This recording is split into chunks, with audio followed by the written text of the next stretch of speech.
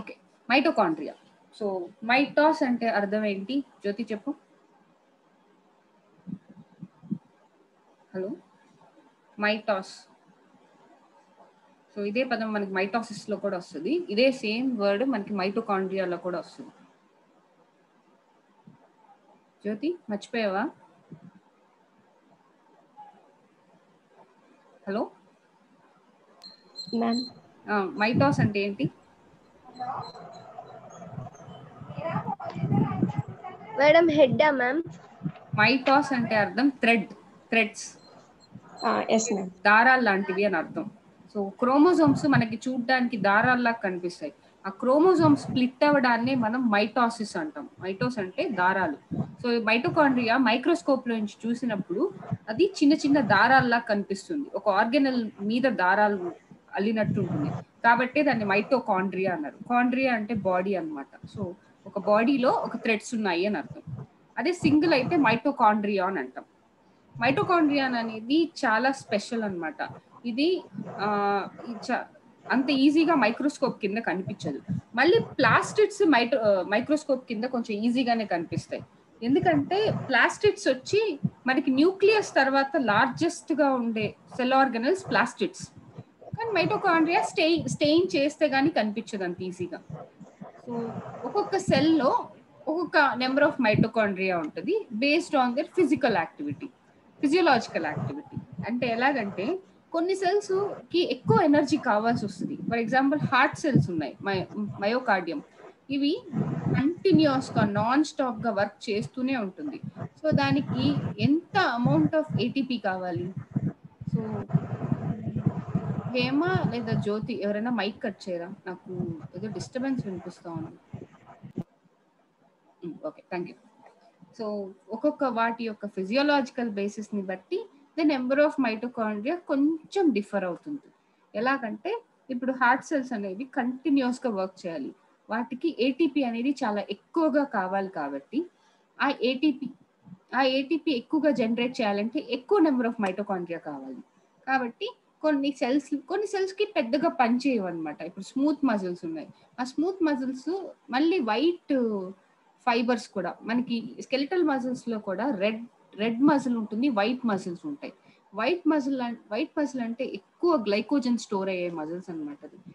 Red muscles అంటే వాటిల్లో ఎక్కువ అమౌంట్ ఆఫ్ మైటోకాండ్రియా ఉంటుంది. అవి కంటిన్యూస్గా aerobic యాక్టివిటీస్కి like running walking jogging skipping వీటన్నిటికి రెడ్ స్కెలిటల్ మసిల్స్ హెల్ప్ అవుతాయి. దాంట్లో ఎక్కువ అమౌంట్ ఆఫ్ అది ఆక్సి ఆక్స్ ఆక్సిడేషన్ వల్ల మనకి ఏటీపీని ప్రొడ్యూస్ చేస్తుంది కాబట్టి వాటిల్లో ఎక్కువ అమౌంట్ ఆఫ్ మైటోకాండ్రియా ఉంటుంది. ఈ వైట్ ఫైబర్స్ ఇంకా కొన్ని స్మూత్ మసిల్ ఫైబర్స్లో తక్కువ నెంబర్ ఆఫ్ మైటోకాండ్రియా ఉంటుంది. ఎక్కడైతే దాని డిమాండ్ ఆఫ్ ఏటీపీ తక్కువ ఉంటుందో అక్కడ తక్కువ మైటోకాండ్రియా ఉంటుంది. ఎక్కడైతే దాని డిమాండ్ ఆఫ్ ఏటీపీ ఎక్కువ ఉంటుందో వాటిలో ఎక్కువ మైటోకాండ్రియా ఉంటుంది. మైటోకాండ్రియా కూడా సైజ్ని బట్టి షేప్ని బట్టి మారుతూ ఉంటుంది. కానీ టిపికల్గా ఒక సాసేజ్ షేప్లో ఉంటుంది. మనకి సింపుల్గా చెప్పాలంటే ఒక హారిజాంటల్ బన్ బటర్ జామ్ ఎలా ఉంటుంది? అలానే ఉంటుంది మైటోకాండ్రియా చూడటానికి వెరీ సింపుల్గా చెప్పాలంటే. లేదా ఒక సిలిండ్రికల్ షేప్లో కూడా ఉంటుంది. దాని యొక్క diameter zero point two to one micrometres. అంటే ప్లాస్టిక్స్ కంటే తక్కువ. ఇంకా చెప్పాలంటే మనకి మైకోప్లాజం కంటే కూడా తక్కువ. మైకోప్లాజం జీరో పాయింట్ త్రీ ఉంటుంది. ఇది జీరో పాయింట్ టూ ఉంటుంది. జీరో పాయింట్ టూ స్టార్టింగ్ అనమాట on and average zero point five micrometres. Around మనకి మైక్రో మై మైకోప్లాజం అంటే ఒక చిన్న మనకి తెలిసిన నోన్ ఒక చిన్న ఆర్గానిజం అంత సైజులో ఉంటుంది మైటోకాండ్రియా అండ్ లెంత్ వచ్చి one to four point one micrometres ఉంటుంది. సో ఇప్పుడు స్ట్రక్చర్కి వస్తే ఈ మైటోకాండ్రియాకి టూ లేయర్స్ ఉంటుంది. ఒకటి అవుటర్ మెంబ్రెయిన్ ఇంకొకటి ఇన్నర్ మెంబ్రెయిన్ అవుటర్ మెంబ్రెయిన్ వచ్చి స్ట్రైట్గా దీన్ని ఒక స్లీవ్ లాగా వ్రాప్ అయి ఉంటుంది. అది ఇన్నర్ మెంబ్రెయిన్కి వస్తే ఈ ఇన్నర్ మెంబ్రెయిన్ వచ్చి లోపలికి ఫోల్డింగ్స్ అయ్యి ఈ ఫోల్డింగ్స్నే మనం క్రిస్టా అంటాం. మళ్ళీ ఈ లోపల ఉండే దీన్ని మ్యాట్రిక్స్ అంటాం. ఈ మిగతా స్పేస్ అన్నిటిని మనకి ఈ మ్యాట్రిక్స్ చాలా నెంబర్ ఆఫ్ రెస్పిరేటరీ ఎంజైమ్స్ ఉంటుంది. ఆక్సిజన్ను ఈ రెస్పిరేటరీ ఎంజైమ్స్ ఇటన్ని కలిసి వాడుకొని మనకి రెస్పిరేషన్ అనేది జరిగి ఆక్సిజన్ ఉపయోగించుకొని రెస్పిరేషన్ అనేది జరిగి మనకి చాలా నెంబర్ ఆఫ్ ఏటీపీస్ అనేవి రిలీజ్ అవుతుంది. ఆ ఏటీపీని మనం ఎనర్జీగా వాడుకుంటాం. సో కాబట్టి మైటోకాండ్రియాని power houses of the cell అన్నాం. మనకి ఒక్కొక్క ఆర్గనెల్కి ఒక్కొక్క పేరు ఉంటుంది ఇక్కడ. మనం ఎండోప్లాస్మిక్ రెటికులం తీసుకుంటే హైవేస్ ఆఫ్ ద సెల్ అంటాం. న్యూక్లియస్ తీసుకుంటే బ్రెయిన్ ఆఫ్ ద సెల్ అంటాం. ఇలా ఒక్కొక్క దానికి ఒక్కొక్క పేరు ఉంటుంది. ఈ మెంబ్రెయిన్కి అవుటర్ మెంబ్రెయిన్కి ఇన్నర్ మెంబ్రెయిన్కి మధ్యలో ఒక స్పేస్ ఉంటుంది. ఆ స్పేసే ఇంటర్ మెంబ్రెయిన్ స్పేస్ అంటాం. తర్వాత ఇది మ్యాట్రిక్స్ ఈ ఫోల్డింగ్స్ పేరే క్రిస్టా ఓకే సో ఇక్కడ వేరే వేరే ఎంజైమ్స్ ఉంటుంది ఇంటర్ మెంబ్రెయిన్ స్పేస్లో మళ్ళీ ఈ మ్యాట్రిక్స్లో వేరే ఎంజైమ్స్ ఉంటుంది. రెండు డిఫరెంట్ డిఫరెంట్ ఎంజైమ్స్ ఉంటాయి మనకి. మొత్తం దాని గురించి మొత్తం ఇది ఇక్కడ ఇచ్చింది అదే మళ్ళీ ఈ మైటోకాండ్రియాలో ఎక్స్ట్రాగా మనకి సింగిల్ సర్క్యులర్ డిఎన్ఏస్ ఉంటాయి. ఒకటే కాదు చాలా డిఎన్ఏస్ ఉంటాయి. ఇంకా కొన్ని రైబోజోమ్స్ కూడా ఉంటాయి. అంటే ఇప్పుడు మనకి ఏం అర్థం అవ్వాలంటే మైటోకాండ్రియా దానికదే సొంతంగా డివైడ్ అవుతుంది. అది న్యూక్లియస్తో డిపెండ్ అవ్వదు. ఎప్పుడైనా సెల్ డివిజన్ స్టార్ట్ అయింది అంటే న్యూక్లియస్తో పాటుగా మైటోకాండ్రియా కూడా డివైడ్ అవ్వడం స్టార్ట్ అయ్యి దాని డాటర్ సెల్స్కి అమౌంట్ ఆఫ్ దాని యొక్క పార్ట్ ఆఫ్ మైటోకాండ్రియాని ఇచ్చేస్తుంది. సో మైటోకాండ్రియాలో ఉండే రైబోసోమ్స్ వచ్చి సెవెంటీ ఎస్ రైబోసోమ్స్. మళ్ళీ కూడా చెప్తున్నాను మనకి ప్రోకారియోటిక్స్లో రై మైటోకాండ్రియాలో ప్లాస్టిక్స్లో ఉండే రైబోసోమ్స్ అన్ని seventy S ribosomes. Eighty S రైబోసోమ్స్ని cytoplasmic ribosomes అంటాం. ఏటీఎస్ రైబోసోమ్స్ని మనం సైటోప్లాజం లో మాత్రమే చూడగలం. So mitochondria will divide by fission మనకి కన్ఫ్యూజ్ చేయడానికి చాలా ఎగ్జామ్స్లో మనకి ఫ్యూషన్ అని ఇస్తారు. ఆ పదం చూసుకోవాలి మనం. సో ఫిషనా ఫ్యూషన్ అని. Bacteria also will divide by fission not by fusion ఆ చిన్న ఒక వర్డ్ మనల్ని కన్ఫ్యూజ్ చేసి వేరే ఆప్షన్ పెట్టేలా చేస్తుంది. అంటే మనం ఎంత అలర్ట్గా ఉన్నాము మనకు క్వశ్చన్ ఎంత ష్యూర్ షార్ట్గా తెలుసు అనేది టెస్ట్ చేయడానికి అలా ఇస్తారు. సో ఇది మైటోకాండ్రియా గురించి. తర్వాత ప్లాస్టిడ్స్ ప్లాస్టిడ్స్ వచ్చి న్యూక్లియస్ తర్వాత పెద్ద ఆర్గానిల్ ఏదన్నా ఉందంటే అది ప్లాస్టిడ్స్ ప్లాస్టిడ్స్ మనకి ఓన్లీ ప్లాంట్ సెల్లో మాత్రమే ఉంటాయి. యానిమల్ సెల్స్లో ప్లాస్టిక్స్ ప్లాస్టిడ్స్ అనేవి చూడలేం. ప్లస్ ఏంటంటే ప్లాస్టిక్స్లో కూడా రకాలు ఉంటుంది బేస్డ్ ఆన్ దేర్ కలర్ కలర్ని బట్టి ప్లాస్టిడ్స్ని త్రీ షేప్స్గా డివైడ్ చేశారు. అదేంటి? త్రీ రకాలుగా డివైడ్ చేశారు. ఒకటి క్లోరోప్లాస్ట్ ప్లాస్ట్ ప్లాస్ట్ అంటే బాడీ లాంటిది అనమాట క్లోరో అంటే అర్థం గ్రీన్ సో గ్రీన్ కలర్లో కాబట్టి దాన్ని క్లోరోప్లాస్ట్ అన్నారు. ప్లస్ ఏంటంటే గ్రీన్ కలర్లో ఉండే పిగ్మెంట్ ఏంటి? క్లోరోఫిల్ క్లోరో అంటే అర్థం గ్రీన్ అని చెప్పాను. పిహెచ్వైఎల్ఎల్ ఫిల్ అంటే అర్థం లీవ్స్ అని. ఇప్పుడు మనకి మామూలుగా ఫోటోసింథసిస్ అంతా ఎక్కడ జరుగుద్ది? లీవ్స్లోనే జరుగుద్ది. అంటే క్లోరోఫిల్ కూడా మేజర్గా ఎక్కడ ఉంటుంది మనకి ఈవెన్ కొన్ని యంగ్ స్టెమ్స్లో కూడా క్లోరోఫిల్ ఉంటుంది. కానీ but ninety percent of the photosynthesis are done in leaves only. కాబట్టి ఆ పిగ్మెంట్కి క్లోరోఫిల్ అన్నాం. అంటే green colour pigment present in the leaf. So క్లోరోప్లాస్ట్లో మేజర్గా ఉండే పిగ్మెంటే క్లోరోఫిల్. అది ఫోటోసింథసిస్ చేసి మనకి ఫుడ్ అనేది జనరేట్ చేస్తుంది. Eh, తర్వాత క్రోమోప్లాస్ట్ మనకి గ్రీన్ కలర్ కాకుండా ఇంకా yellow colour yellowish green colour ఇలా వేరే వేరే కలర్స్లో కూడా ప్లాంట్స్ చూడొచ్చు. ఇంకా రెడ్ కలర్ సో ఇలా డిఫరెంట్ కలర్స్లో ప్లాంట్స్ చూస్తాం. ఇవేంటి అంటే క్లోరోఫిల్ కాకుండా వేరే పిగ్మెంట్స్ ఉండే ప్లాస్టిక్స్ అనమాట ఇవి.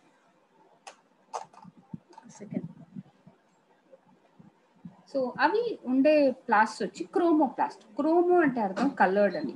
అదర్ దాన్ క్లోరోప్లాస్ట్ కలర్స్ ఉండేవని క్రోమోప్లాస్ట్ కిందకు వస్తుంది. దాంట్లో ఉండే పిగ్మెంట్స్ వచ్చి carotenoids carotene and xanthophylls so ఆ పిగ్మెంట్స్ని కెరోటినాయిడ్ పిగ్మెంట్స్ అంటారు.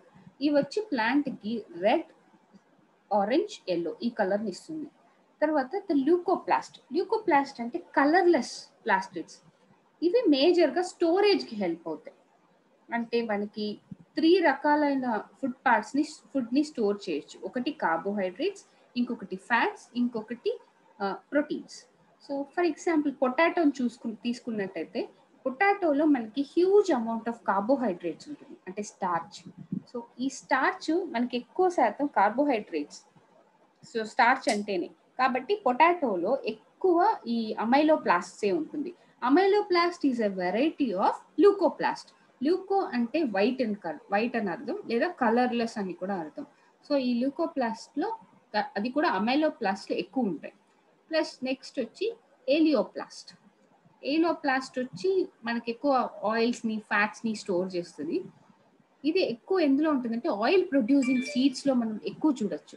అంటే క్యాస్టర్ గ్రౌండ్ నట్ ఈ సీడ్స్లో ఎక్కువ ఏ ప్లాస్టిక్స్ ఉంటాయంటే లుకోప్లాస్ట్ ఉంటుంది. ప్లస్ ఆ లుకోప్లాస్ట్లో కూడా ఏలో ఏయో ఉంటుంది. తర్వాత ఎరులోప్లాస్ట్ ఎరులోప్లాస్ట్లో ప్రోటీన్స్ ఉంటుంది ఎక్కువ. ఈ ప్రోటీన్స్ కూడా కొన్ని పల్సెస్ సిరల్స్ వీటిల్లో ఉండే ప్లాస్టిక్స్ ఏంటంటే ఎరులోప్లాస్ట్ సో ఈ ప్లాస్టిక్స్లో కూడా మనకి రైబోసోమ్స్ ఉంటుంది. ఆ రైబోసోమ్స్ ఏంటంటే seventy S ribosomes plus circular DNA కూడా ఉంటుంది. మళ్ళీ క్లోరోప్లాస్ట్ ఎక్కువ ఎక్కడ ఎక్కువ ఉంటుందంటే మీసోఫిల్ సెల్స్లో ఉంటుంది. మీసోఫిల్ సెల్స్ ఎక్కడ ఉంటాయి లీవ్స్లో ఉంటుంది.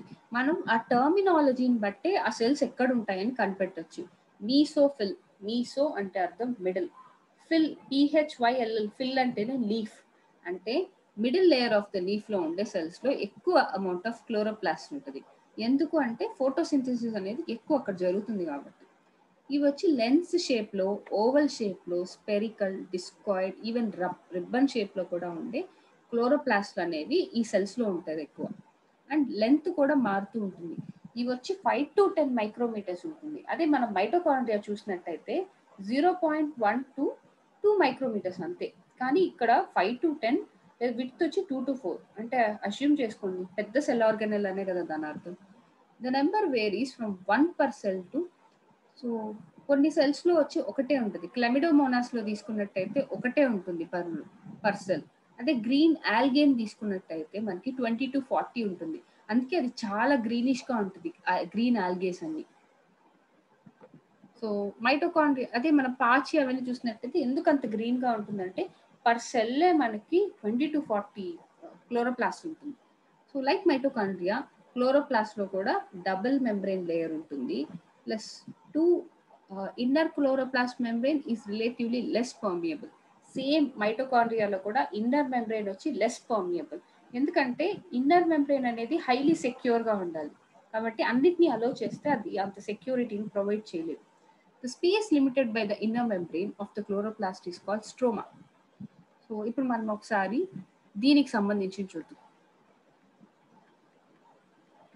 దీనికి సంబంధించిన స్ట్రక్చర్ ఏంటంటే ఇది కూడా double layer so outer layer outer membrane and inner membrane same mitochondria లాగానే. ఆ మధ్యలో స్పేస్ని ఇంటర్ మెంబ్రెయిన్ స్పేస్ అంటాం. ఇది కూడా సేమ్ దానిలాగానే తర్వాత ఈ ఇన్నర్ మెంబ్రెయిన్ లోపల ఉండేదాన్ని స్ట్రోమా అంటాం. అదే దాంట్లో మైటోకాండ్రియాలో అయితే మ్యాట్రిక్స్ అంటాం. ఈ స్ట్రోమా లోపల మనకి కాయిన్స్ లాగా ఉన్నాయి కదా. ఒక్కొక్క కాయిన్ని మనం మనం థైలకాయిడ్ అంటాం. ఈ థైలకాయిడ్ని కట్ చేస్తే లోపల ఒక స్పేస్ ఉంటుంది. ఆ స్పేసే మనకి లూమెన్ అంటాం. ఇలా ఈ థైలకాయిడ్స్ ఒక స్టాక్ ఆఫ్ కాయిన్స్ లాగా అరేంజ్ చేసేదాన్ని గ్రానం అంటాం. సో ఇది ఒక గ్రానం ఇది ఒక గ్రానం ఇది ఒక గ్రానం అలాగే మొత్తం అన్నిటినీ కలిపి గ్రాన అంటారు. తర్వాత ఒక్క గ్రానంకి ఇంకొక గ్రానంకి మధ్యలో లింక్స్ ఉంటాయి. ఆ లింక్నే స్ట్రోమా లామెల్లా అంటారు. ఓకే? సో ఇది మైటోకాండ్రియా యొక్క స్ట్రక్చర్. సారీ క్లోరోప్లాస్ట్ యొక్క స్ట్రక్చర్. మనకి క్లోరోఫిల్ పిగ్మెంట్ అనేది ఈ థైలకాయిడ్స్ లోపల ఉంటుంది. సో ఈ థైలకాయిడ్స్ మీద ఉండే దీని మెంబ్రెయిన్ మీద మనకి క్లోరోఫిల్ పిగ్మెంట్ అనేది ఉంటుంది. ఈ ఇది క్లోరోప్లాస్ట్ ఏం చేస్తుందంటే లైట్ని ట్రాప్ చేసి దాని ఎనర్జీని ఉపయోగించుకొని ఫోటోసిన్సిస్ అనేది చేస్తుంది. సో ఈవెన్ క్లోరోప్లాస్ట్లో కూడా మనకి రైబోసోమ్స్ ఉంటుంది. Seventy S type of ribosomes seventy Svedberg ribosomes ఇవి చిన్న ribosomes when compare to eighty S eighty S అనే దాన్ని సైటోప్లాస్మిక్ రైబోసోమ్స్ అంటాం. ఎందుకంటే those are found mostly in cytoplasm కాబట్టి. అండ్ సర్క్యులర్ డిఎన్ఏస్ కూడా ఉంటుంది. అందుకంటే క్లోరోప్లాస్ట్లు కూడా దానికి అవి సొంతంగా డివైడ్ అవ్వాలి. ఇది న్యూక్లియస్కి సంబంధం లేకుండా డివైడ్ అవుతుంది. ఓకే సో ఇది plastids okay uh, Hema Jyothi ఇప్పుడు నెక్స్ట్ తర్వాత స్టార్ట్ చేద్దామా? ఓకే ఎస్ మ్యామ్ హేమ క్లియర్గా అర్థమైందా? ఎస్ మ్యామ్ ఏమైనా డౌట్స్ ఉన్నాయా వీటిల్లో?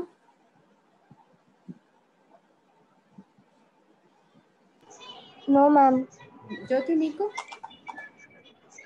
నో మ్యామ్ క్లియర్గా ఉంది కదా? క్లోరోప్లాస్ట్ అదే plastids plus mitochondria yes ma'am right so next ribosomes ribosomes అంటే రైబోస్ అంటే దీంట్లో రైబోస్ షుగర్ ఉంటుంది కాబట్టి దాన్ని రైబో అన్నారు. అండ్ ప్లస్ సోమ్ అంటే బాడీ. సో రైబోస్ ఉండేది కాబట్టి అది రైబోస్ ఉండే బాడీస్ కాబట్టి దాన్ని రైబోసోమ్స్ అన్నారు. సో ఇవేంటంటే గ్రాన్యులర్ స్ట్రక్చర్స్. మనకు ఒక సెల్లో కానీ ఒక చిన్న చిన్న డాటెడ్ లాగా ఏదైనా కనిపిస్తే అది నథింగ్ బట్ రైబోసోమ్సే. ఈవెన్ న్యూరాన్లో కూడా మనకి ట్రైగాయిడ్ బాడీస్ ఉంటుంది న్యూరాన్ సెల్ బాడీలో. మీరు కానీ రీకలెక్ట్ చేసుకున్నట్టయితే. అవి ఏంటంటే ఆ ట్రైగోయిడ్ బాడీస్ వచ్చి గ్రాన్యూల్స్ లాగా ఉంటుంది. ఆ granules are nothing but ribosomes even మీకు ఏదైనా సెల్ తెలియకుండా ఆ సెల్ గురించి అడిగి దాంట్లో గ్రాన్యూల్స్ ఏంటి అని అడిగితే మీరు ఖచ్చితంగా అది రైబోసోమ్స్ అని చెప్పొచ్చు. ఎందుకంటే రైబోసోమ్స్ అనేవి చాలా వ్యాస్ట్గానే ఉంటాయి ఎప్పుడు. ప్రోటీన్ సింథసిస్ అనేది చాలా ఇంపార్టెంట్ కాబట్టి రైబోసోమ్స్ అనేది కూడా ఖచ్చితంగా ఉండాలి సెల్లో. So the first observed under electron microscope whatever the cell organelle మనకి ఫస్ట్ అవి అవి తెలి అవి ఎలా తెలిసాయి అంటే ఎలక్ట్రాన్ మైక్రోస్కోప్ ఇన్వెంట్ చేసిన తర్వాత ఇవన్నీ తెలిసాయి. లేకపోతే మనకి సెల్ ఆర్గనల్స్ ఏంటి అని తెలిసేవి కూడా కాదు. So as dense particles by George Palade. George Palade అనే అతను రైబోసోమ్స్ని కనిపెట్టారు. స్వెట్బర్గ్ అనే అతను కాదు స్వెట్బర్గ్ అనేది దాని యూనిట్ అన్నమాట. మనకి కన్ఫ్యూజ్ అవ్వడానికి మామూలుగా ఆప్షన్స్లో స్వెట్బర్గ్ అని ఉంటుంది. సో స్వెట్బర్గ్ కాదు Palade George Palade. So they are composed of ribonucleic acid so మనకి రైబో షుగర్ ఉంటుంది కాబట్టి ఆర్ఎన్ఏ ఉంటుంది కాబట్టి మేజర్గా వాటిని రైబోజోమ్స్ అన్నారు. And proteins are not surrounded by any membrane so ribosomes and proteins ఉంటుంది. ఇది ఏ మెంబ్రెయిన్ చుట్టూ? సో రైబోజోమ్స్ అనేది non membrane bounded cell organelle కిందకి వస్తుంది. So the eukaryotic ribosomes are eighty S eighty S అది కూడా సైటోప్లాజం లో మాత్రమే కనిపిస్తుంది. అండ్ ప్రోకారియోటిక్ రైబోజోమ్స్ వచ్చి సెవెంటీ ఎస్. సో ప్రోకారియోటిక్స్లో మైటోకాండ్రియాలో క్లోరోప్లాస్ట్లో మనకు కనిపించే ribosome seventy S ribosomes. And ఇంకా స్వెట్బర్గ్ హియర్ ఎస్ అంటే Svedberg unit which stands for sedimentation coefficient for example sedimentation అంటే ఏంటంటే ఫర్ ఎగ్జాంపుల్ మనం ఒక బ్లడ్ని ఒక శాంపుల్గా తీసుకుందాం టెస్ట్ ట్యూబ్లో కొంతసేపు తర్వాత ఏమవుతుంది? బ్లడ్లో ఉండే వెయిట్ అయిన పార్ట్స్ అన్ని కిందకు వస్తుంది లైట్గా ఉండేవన్నీ పైకి వస్తుంది అంటే స్ట్రా కలర్ ఫ్లూయిడ్ అంతా పైకి వస్తుంది అంటే ఇది సెడిమెంటేషన్ సపరేషన్ అవుతుంది. సో ఇలా రైబోజోమ్స్ని సపరేట్ చేసినప్పుడు దాని యొక్క సైజ్ని ప్రకారం దాన్ని యూనిట్గా డివైడ్ చేశారు ఇంత సైజ్ ఉంటే ఇంత యూనిట్ ఇంత సైజ్ ఉంటే ఇంత యూనిట్ అని. So which indirectly is a measure of density and size so అదే సెడిమెంటేషన్ కోఎఫిషియంట్ సో స్వెట్బర్గ్ అంటే ఏంటి అని అడిగితే సెడిమెంటేషన్ కోఎఫిషియంట్ అని గుర్తుపెట్టుకోండి. ఇది కూడా చాలా సార్లు అడిగిన క్వశ్చన్ ఇది దేని మీద డిపెండ్ అయి ఉంటుందంటే ఇండైరెక్ట్గా దేన్ని మెజర్ చేస్తుంది అంటే డెన్సిటీని ఇంకా సైజ్ని so both seventy S and eighty S ribosomes are composed of two units seventy two units ఉంటున్నాయి. ఇప్పుడు సెవెంటీఎస్లో ఉండే యూనిట్స్ వచ్చి ఫిఫ్టీ ఎస్ ఇంకా థర్టీ ఎస్ అదే ఎయిటీ ఉండేది సిక్స్టీ ఎస్ ఇంకా ఫార్టీ ఎస్ ఓకే ఈ సపరేషన్ కూడా గుర్తుపెట్టుకోవాలి. Fifty years thirty years is equal to seventy years sixty years and forty years is equal to eight years తర్వాత coming to cytoskeleton so cytoskeleton అనేది animal సెల్లోను ఇంకా plant సెల్లోను ఉంటుంది. So ఎందుకు cytoskeleton మేజర్గా అంటే మన సెల్స్ని ఒక యొక్క షేప్ అండ్ స్ట్రక్చర్ని మెయింటైన్ చేసేది సైటోస్కెలిటన్ ఎందుకంటే మనకి ఫ్లజల్లా లేదు సీజియా లేదు ప్లస్ సెల్ వాల్ కూడా యానిమల్ సెల్లో అయితే మేజర్గా సెల్ వాల్ ఉండదు. ప్లాంట్ సెల్లో అయితే మేజర్గా దాని స్ట్రక్చర్ మెయింటైన్ చేసేది సెల్ వాలే. So cytoskeleton an elaborate network of filamentous proteinaceous structure ఈ సైటోస్కెలిటన్ మొత్తం ప్రోటీన్తోనే తయారై ఉంటుంది. సో ఇది వెరీ సింపుల్గా గుర్తుపెట్టుకోవచ్చు. ఎలాగంటే మనకి హెయిర్ ఉంది ఇంకా నెయిల్స్ ఉన్నాయి. Hair nails it is made up of a protein called keratin so harder protein a bit harder protein అనమాట లైక్ వైజ్ మనకి ఈ బాడీలో ఇది వన్ ఆఫ్ ద ఎక్సోస్కెలిటన్ కిందకు వస్తుంది మనకి. నెయిల్స్ కానీ హెయిర్ కానీ ఇవన్నీ కూడా. సో ఇవి ప్రోటీన్తోనే బిల్డప్ అయ్యాయి. ప్రోటీన్ కాబట్టి అవి స్ట్రాంగ్గా ఉన్నాయి. ఇప్పుడు సైటోస్కెల్టన్ కూడా స్ట్రాంగ్గా ఉండాలంటే అవి ప్రోటీన్స్ తోనే తయారు చేసి ఉండాలి. So it is also made up of proteins and cytoplasm cytoskeleton in the cell are involved in many functions so ఏంటంటే ఒకటి మెకానికల్ సపోర్ట్ ఇంకొకటి మొటిలిటీకి ఇంకొకటి maintenance of the shape of the cell వీటన్నిటికి సైటోస్కెల్టన్ అనేది హెల్ప్ అవుతుంది. ఇది cross section of cilia and flagella electron మైక్రోస్కోప్లో చూసినప్పుడు అయితే ఈ సీలియా అండ్ ఫ్లెజెల్లా యొక్క క్రాస్ సెక్షన్ ఇది. దీని గురించి తెలుసుకుందాం. ఈ సీలియా అండ్ ఫ్లెజెల్లా అనేది బోత్ ప్రొకారియోటిక్ లోనూ ఉంటాయి యూకారియోటిక్ లోనూ ఉంటాయి. ఈ సీలియా ఫ్లెజెల్లా ఉన్నాయి అంటే దాని అర్థం వచ్చి అది మొటిలిటీకి యూజ్ అవుతే యూజ్ అయ్యే సెల్స్ అని. ఇవన్నీ వచ్చి వాటి లోకోమోటరీ ఆర్గన్స్ సో సీలియా అంటే ప్లూరల్ సింగిల్ సింగులర్ వచ్చి సీలియం అండ్ ఫ్లెజెల్లా అన్న కూడా ప్లూరల్ సింగులర్ వచ్చి flagellum these are like hair like outgrowths of the cell memory cilia వచ్చి చిన్న చిన్న బ్లిస్టర్స్ ఆఫ్ హెయిర్ లాగా ఉంటుంది. అంటే ఒక మన కేరళలో పడవల దగ్గర ఓర్స్ వేసుకొని ఇట్లా ఎట్లా వెళ్తారో అన్ని ఒక ఇటు సైడ్ ఒక పది మంది ఇటు సైడ్ ఒక పది మంది ఓర్స్ వేసుకొని బోట్లో ఎలా ట్రావెల్ చేస్తారు? సీలియా ఉంటే సెల్స్ అలా ట్రావెల్ అవుతాయి అనమాట ఒక ప్లేస్ నుంచి ఇంకో ప్లేస్కి causing the movement of either the cell or the surrounding field అదే ఫ్లెజెల్లా అయితే ఒకటి లేదా రెండు ఫ్లెజెల్లాస్ ఉంటాయి అవి పొడుగ్గా ఉంటాయి. ఇవి కూడా రెస్పాన్సిబుల్ ఫర్ సెల్ మూమెంట్ అదే prokaryotic bacteria also possess the flagella but they are structurally different from eukaryotic flagella prokaryotic flagella వేరుగా ఉంటుంది యూకారియోటిక్ ఫ్లెజెల్లా వేరుగా ఉంటుంది.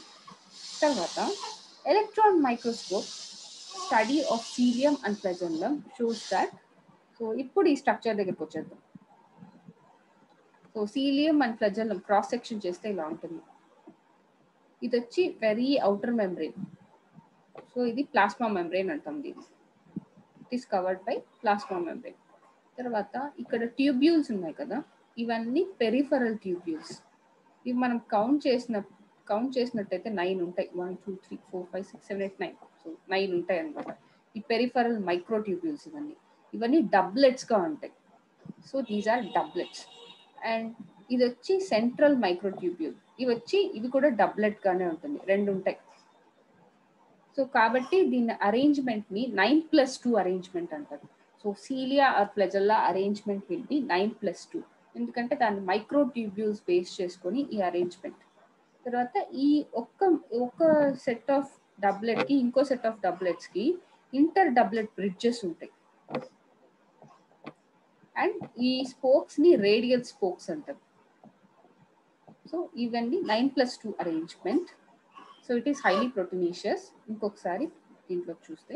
So the electron microscopic study of cilium or the flagellum show that they are covered by plasma membrane their core is called axoneme and possess a number of microtubules running parallelly so axoneme అంటే ఏంటంటే ఈ central core ఉంది కదా. ఈ central కోర్ని యాక్సోనియం అంటారు. ఈ మొత్తాన్ని కలిపి. So they possess a number of microtubules running parallel to the long axis. And the axonium is usually has nine pairs of doublets of radially arranged peripheral tubules. Nine pair of doublets utae and pair of centrally located microtubules. Such an arrangement of axonal microtubules is referred to as 9 plus 2 array. So the central tubule are connected by bridge and it is also enclosed by a central sheet. It is connected to one of the tubules of each peripheral doublet by uh, radial spoke. Thus, there is a nine radial spokes. The peripheral doublets are also interconnected by linkers. So, both the cilium and uh, flagellum emerges from a centriole-like structure, which called basal bodies. Okay, so మనకి ఇంకొకసారి చూస్తే ఇది plasma membrane కొన్నిసార్లు ఈ picture ఇచ్చి దీని యొక్క labelling ఇచ్చి ఈ లేబులింగ్ దగ్గర ఏం ఉండాలి అని కూడా అడుగుతారు. అలా కూడా క్వశ్చన్స్ వస్తాయి. So this is plasma membrane very outer and these are peripheral tubules ఇవన్నీ పెరిఫరల్ ట్యూబ్యూల్స్ కిందకి వస్తాయి. సో ఈ పెరిఫరల్ ట్యూబ్యూల్ ఇది central microtubule peripheral tubules వచ్చి నైన్ డబ్లెట్స్ ఉంటుంది. ఇది వచ్చి ఇంటర్ డబ్లెట్ బ్రిడ్జ్ ఇవి వచ్చి లింకర్స్ ఇట్లా ఇక్కడ కనిపించే చిన్న చిన్న ఇంకా చిన్న చిన్న మైక్రో ట్యూబ్యూల్స్ వచ్చి లింకర్స్ ఇది సెంట్రల్ షీట్ సో ఈ సెంట్రల్ మైక్రోట్యూబ్యూల్ కూడా ఒక బ్రిడ్జ్ ఉంటుంది ఈ రెండింటికి మధ్యలో. ఈ అరేంజ్మెంట్ని నైన్ ప్లస్ టూ అరేంజ్మెంట్ అంటారు. నైన్ ఆ నైన్ అంటే ఏంటంటే nine doublets and two singlets ఇది చాలా క్వశ్చన్స్ చాలా సార్లు అడిగారు. Nine doublets and two singlets so ఈ సెంట్రల్లో ఉండే ఈ మొత్తాన్ని ఏమంటాం అంటే యాక్సోనీమ్ అంటాం అండ్ నెక్స్ట్ తర్వాత సెంట్రోసోమ్స్ అండ్ సెంట్రియోల్స్. సెంట్రోసోమ్స్ వేరు సెంట్రియోల్స్ వేరు. సెంట్రోసోమ్ అంటే సెంట్రల్లో ఉండే ఒక బాడీస్ అనమాట అండ్ సెంట్రియోల్స్. సో ఇవేంటో చూద్దాం. Centrosome is an organelle usually contain two cylindrical structures call centrioles. So మనకి ఒక రెండు సిలిండ్రికల్ స్ట్రక్చర్స్ పర్పెండిక్యులర్గా అరేంజ్ అయి ఉంటే దాన్ని మొత్తాన్ని కలిపి సెంట్రోజోమ్ అంటాం. ఆ సెంట్రోజోమ్లోని ఉండే పార్టే centrioles. So they are surrounded by amorphous, amorphous pericentriolar materials. Both centrioles in the centrosome is perpendicular to each other. Ante oka, oka 95 sorry 45 degrees angle unde unde triangle laga arrange in each of has an organization called cartwheel organization so they are made up of nine evenly space peripheral fibrils called tubulin proteins so centrioles ఎలా దేంతో తయారై ఉంటుంది అంటే major protein వచ్చి ట్యూబ్లిన్ protein ఇది కూడా చాలా సార్లు అడిగిన క్వశ్చన్ ట్యూబ్లిన్ అనేది. So each of the peripheral fibril is a triplet so ఇక్కడ ఉంటే అక్కడేమో డూప్లెట్ డబ్లెట్స్ వచ్చాయి. ఇక్కడేమో triplets so adjacent triplets are linked The central part of the proximal region of the centriole is also proteinaceous, which we call the hub. So, which is connected with the tubules of the peripheral triplets by radial spoke, which is in turn made up of protein. The centrioles from the basal body of cilia and flagella and the spindle fibers that gives rise to spindle apparatus during the cell division in animal cells. So ఈ centrosome ఇంకా centrioles దేనికి help అవుతాయి అంటే మనకి cell division లో help అవుతాయి that to animal cells లో మాత్రమే ఉంటాయి ఇవి సెంట్రోజోమ్ అండ్ సెంట్రియోల్స్ ఈ సెంట్రోజోమ్ ఇంకా సెంట్రియోల్ ప్లాంట్ సెల్స్లో ఉండవు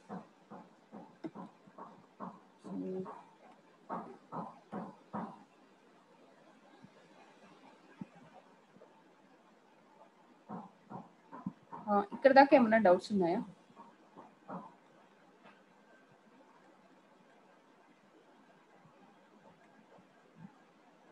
హేమ జ్యోతి ఇక్కడ దాకా ఏమైనా డౌట్స్ ఉన్నాయా? నో మ్యామ్ అవునా? ఓకే. క్వశ్చన్స్ ఆన్సర్ చేస్తే తెలుస్తాయి. క్వశ్చన్స్ ఆన్సర్ చేసి తెలుసు సో అర్థమైంది కదా topic? Yes yes ma'am ma'am okay Jyothi. సరే జ్యోతి ఒక ఫైవ్ మినిట్స్ బ్రేక్ తీసుకోండి. న్యూక్లియస్ స్టార్ట్ చేద్దాం. ఓకే మ్యామ్ ఓకేనా? ఈరోజు న్యూక్లియస్ ఓకే ఈరోజు న్యూక్లియస్ వరకు చెప్పుకుందాంలే. అంటే ఇక్కడ దాకా ఈ పేజ్ వరకు చెప్పుకుందాం ఈరోజు. న్యూక్లియస్ వరకు రేపు ఆ బ్యాలెన్స్ అయిపించేసి క్వశ్చన్ స్టార్ట్ చేద్దాం. ఈ చాప్టర్ మీద. లేదా ఈరోజు అయిపించేద్దామా. ఈ కాస్తే ఉందిలే ఈరోజు ఇది అయిపించేద్దాం అట్లయితే. అయిపించేస్తే రేపు క్వశ్చన్స్ ప్రాక్టీస్ చేసేద్దాం. ఓకేనా okay ma'am okay okay Jyothi కొంచెం ఒక ఫైవ్ మినిట్స్ బ్రేక్ తీసుకోండి. నేను. సెషన్ ఎండ్ చేసేస్తున్నాను. మళ్ళీ స్టార్ట్ చేద్దాం. Okay ma'am. ఓకే.